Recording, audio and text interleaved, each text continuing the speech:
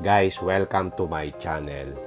Pasensya na kayo sa boses ko kasi meron akong konting sipon. But just the same, the show must go on. In this particular video, isi-share ko sa inyo ang aking nakita last week dito sa BGC during the launching of the Toyota Yaris Cross HEV or Hybrid Electric Vehicle. Aside from the Yaris Cross, meron din silang naka-display dito ng mga ibang models. Meron sila ditong Toyota Zenix, nakita ko rin yung uh, Toyota RAV4 at saka yung Corolla Cross. But ang main attraction dito is yung kanilang all-new Yaris Cross. Lately, napansin ko nagiging aggressive na ang Toyota in launching new products. They know that the competition is getting tougher, so they have to launch new models to defend their market position. So halika, tingnan natin itong Yaris Cross.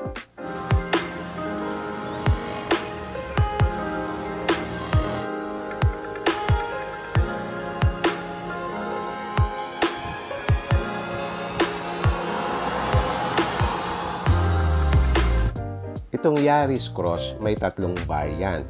Isang hybrid at saka dalawang non-hybrid. Yung top of the line na hybrid is 1.598 million while yung V na mid variant is 1.306 million. Yung entry level naman na G is 1.199 million. So ang difference nung hybrid dun sa base model is about 400,000 pesos. Ang una mong mapapansin, para siyang maliit na Toyota RAV4. Yung fascia niya, similar dun sa RAV4. Meron siyang uh, ah, DRL, tapos yung kanyang headlights ay uh, ah, LED, at meron din siyang LED fog lamps. At doon sa ibabaw ng fog lamp, merong nakalagay doon na sensor. Itong hybrid model, meron siyang uh, bumper overrider na kulay silver na yan doon sa ilalim ng bumper. At dito naman sa hindi hybrid na base model, wala siya nung uh, bumper overrider. Kulay black lang siya. Doon sa side profile naman, mapapansin mo, meron ding parang uh, silver garnish doon sa ilalim ng uh, pintuan yan, parang silver na yan. No? Dito naman sa non-hybrid, wala siyang ganyan. Kulay black lang siya. So, plain siya. Yung side mirror nitong hybrid is power adjustable, auto fold. Meron din siyang uh, camera at saka paddle lamp. And meron din siyang side repeaters na nagbi-blink yan once you activate yung turn signal. Gustong gusto ko yung side profile niya. Parang balance yung pagkaka-design. Maganda yung execution. Napansin ko din na kulay black na yung kanyang roof na nag-start dun sa A pillar hanggang dun sa likod. So, black na siya. So, hindi ka na kailangang magpa-color ng black. Naka-factory black na siya very prominent yan. Makikita mo pagka yung white yung color ng body. So, pansinin yung black roof. Yung size ng kanyang tires dito sa hybrid model is size 18. While dun sa non-hybrid is size 17. Although pareho lang yung design ng kanilang mag wheels. Naka-disc brake na rin siya dito sa likod, saka dun sa harap. Okay, check naman natin yung likod. Dito sa likod, meron siyang high mount stoplight na naka-integrate doon sa rear spoiler. Tapos, nandun din sa ibabaw yung uh, shark fin antenna. Yung tail lights niya are LEDs. Then, you have that uh, camera dito sa likod. At dito sa bandang kanan, nandito naman yung parang emblem ng uh, HEV. By the way, meron na rin siyang power tailgate at merong adjustment itong kanyang compartment area. Pwede mong i-adjust itong pinaka-cover nitong uh, trunk area na to na pwede mo siyang i-adjust na itaas dito. Pwede mo siyang itaas dyan. So, pag hinila mo tong cover na to, makita mo may space pa sa ilalim. Parang hidden na compartment yan. So, pwede mo diyang itago yung mga item na gusto mong hidden. And then, pag iniangat mo itong main cover at saka yung additional cover pa sa ilalim, nandun yung kanyang reserva na steelies. At dito sa bandang kanan, merong maliit na mini compartment pa. At then, dito sa left side, meron naman siyang ilaw. Meron din siyang tonneau cover at yung kanyang upuan dito sa likod is uh, 60-40 split. Okay, close natin yung likod. Simple lang yung kanyang design. At dun sa ilalim ng bumper, meron siyang uh, parang silver garnish. Yan sa HEV. Dito naman sa non-HEV, wala siya nung silver na garnish. So, ang difference lang sa exterior ng HEV dun sa non-HEV, yung mga garnish sa harap, dun sa side, saka dun sa likod, at saka yung tires ng uh, non-HEV size 17 as against the size 18 nitong uh, HEV. So, ang main difference really is dun sa engine. Itong hybrid model delivers 91 PS and 121 Newton meters of torque. Compared mo dun sa non-hybrid na 106 PS and 138 Newton meters of torque. So on paper, mas malakas yung non-hybrid. Pero itong hybrid, meron siyang motor generator that can deliver 80 PS. But if you combine the gasoline engine and the motor generator, the total generation output is 111 PS, which is now higher than the 106 PS of the non-hybrid version. So ang advantage naman ng hybrid, syempre yung kanyang fuel efficiency. So yun ang titingnan mo. Check naman natin yung interior nitong G model na non-hybrid. Itong G model, fabric yung seats niya with blue stitching and then leather up na rin yung steering wheel. Same lang din yung size ng kanyang head unit no sa hybrid model. 10.1 inch ang kanyang size.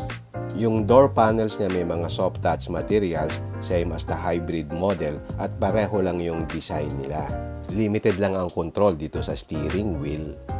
Andyan lang yung audio, voice, display at saka yung telephone tilt and telescopic ang kanyang steering wheel and then manual adjustment lang itong kanyang uh, driver's seat. Okay, check natin naman itong hybrid. Maganda yung design niya. Ang hindi ko lang gusto dito, yung mga black parts na yan na susceptible sa scratches. Yan kasi ang uh, common touch area. Tapos black, madali yung magasgas. Yung quality naman ng soft touch leather saka yung stitching, maganda. At meron pa siyang 6 speakers na Pioneer. Alam mo naman ang Pioneer, maganda yung quality ng sound niyan. As I said, ang ganda ng quality ng interior niya. Maganda yung mga materials na ginamit. So, talagang uh, premium looking. And of course, meron din siyang mga additional na mga features. Like for example, dito sa mga buttons na to, nandiyan na yung mga additional features niya. May mga switch dito ng uh, traction control, collision uh, mitigation, automatic tailgate, automatic high beam, saka yung EV mode. Napansin ko din dito sa dashboard, meron siyang uh, blue highlight na sa unang tingin mo, para siyang uh, ambient lighting. At yung seats niya, maganda yung design. Although synthetic leather siya, ang ganda ng quality na naha-highlight pa nung kanyang uh, blue stitching. So compared mo dun sa seats ng Toyota Scenics, ang layo nito, ang ganda nito. As I said at uulitin ko, na-impress ako dito sa quality ng kanyang uh, interior. Kung ito ang magiging gauge ng mga future models ng Toyota, then mas lalong dadami ang kanilang sales. Okay, going back to the seats, it's 8-way power adjustable and you can see the quality of the seats, no? At pag hinawakan mo to, yan no, malambot talaga siya. Okay, check natin yung steering wheel. Natitilt siya and telescopic din. Yung quality ng leather material dito sa steering wheel ay maganda. Actually, malambot siya. Hindi katulad ng ibang leather na matigas at yung quality ng stitching maganda. And now, kompleto yung steering wheel controls niya for audio, display, voice, saka yung adaptive cruise control and lane departure assist. At yung kanyang head unit, 10.1 inches, which is the same din dun sa non-hybrid variant. Yung instrument cluster is 7.1 inches and uh, purely digital. Yung steering wheel is electronic power assisted. Meron kang smart entry. Meron ding push start stop button.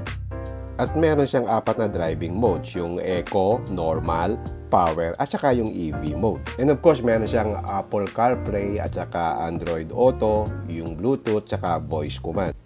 Napansin ko lang dito, single climate control lang siya. Normally, di ba, uso na ngayon yung dual zone climate control. Yung iba nga, tri-zone climate control na. Ang isang negative lang sa akin dito, ginawa niyang perforated itong likod ng uh, upuan.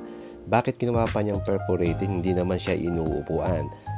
Nagmumukha tuloy siyang parang kulubot, hindi siya smooth. I don't know kung ano nasa isip ng Toyota doon.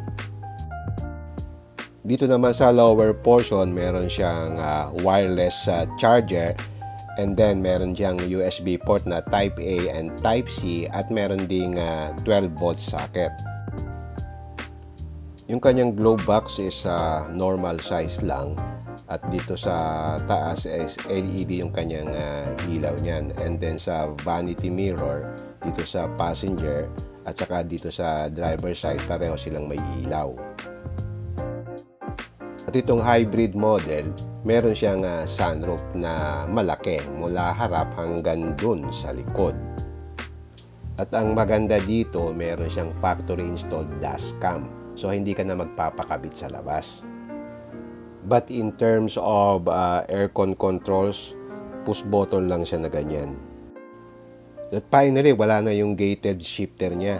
Modern na ngayon ang uh, design ng kanyang uh, shifter. Nandito rin yung push start uh, button niya at uh, meron din siyang uh, automatic parking brake at auto hold feature.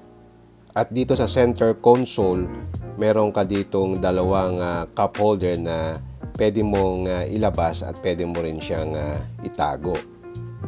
Overall, I would say maganda yung interior niya. Now, let's take kung anong itsura nitong uh, back seat. Dito sa likod, same din yung design ko sa harap. Meron kang piano block area here and then you have horizontal lines here. And then pag tiningnan mo yung uh, size ng likod, parang uh, average size lang siya. Hindi siya ganong kaluwag. So, kung baga kung uh, tatlo kayo, medyo masikip siya. So, comfortable lang talaga dito kung uh, dalawa lang kayo sa likod. By the way, dito ako nakaupo sa non-hybrid. Ito yung space niya. Meron kang uh, pocket dito at dito sa passenger seat meron ding pocket. In terms of uh, leg space, na ipapasok ko naman itong aking paa dito sa ilalim ng upuan. So, okay lang siya. At dito sa likod, meron din siyang uh, aircon vent na pwede mong i-open and uh, i-close. So okay yan para madaling mapalamig din yung likod. At sa ilalim yan, meron nga pala diyang uh, dalawang USB port, Type A at Type C. Napansin ko din hindi flat yung uh, flooring dito sa gitna unlike yung ibang uh, crossovers. So yung middle passenger medyo uncomfortable kung dito sa gitna nakaupo. Mas komportable lang talaga kung uh, dalawa lang ang pasahero mo dito sa likod. Okay, let's summarize punta muna tayo sa pros. Sa lahat ng Toyota models na lumabas ngayon, ito yung naiiba ang quality. Yung overall design niya, especially yung interior, is not typical Toyota. Kasi usually ang Toyota very conservative at saka boring yung mga interior. I tried to compare it also doon sa sibling niya na Toyota Corolla Cross, mas hamak na mas maganda ang design nito. Another advantage nito, hybrid siya so mas matipid siya sa fuel and you also contribute to the environment protection. Not to mention na exempt ka sa number coding. At bukod pa dyan, meron pa siyang sunroof at meron pa siyang dashcam. Meron din siyang Apple CarPlay at Android Auto na importante sa mga driver. At saka yung ano, yung adaptive uh, cruise control, meron din siya. Na one of the elements siya doon sa Toyota Safety Sense na meron ito. Ano naman ang mga negatives in my opinion? Ang unang negative for me, that is only my opinion, is yung kanyang CVT transmission. To me, parang uh, underwhelming na maglagay ka ng CVT transmission for a 1.6 million car. Kasi for me, for performance and engagement, hindi magandang CVT. Another negative for me is maliit yung kanyang power output. So, parang uh, underpowered siya for this size of vehicle. But of course, may mga positive at negative naman talaga sa mga sasakyan. But overall, itong package na to is very much improved for Toyota. The question to ask is, are you willing to buy this for 1.6 million? Or you buy another brand at that price level? Okay, hanggang dito na lang. I hope I have given you some insights about this new Toyota Yaris Cross. If you like this video, don't forget to like, share, and subscribe. Until next time, see you again my next vlog. Bye!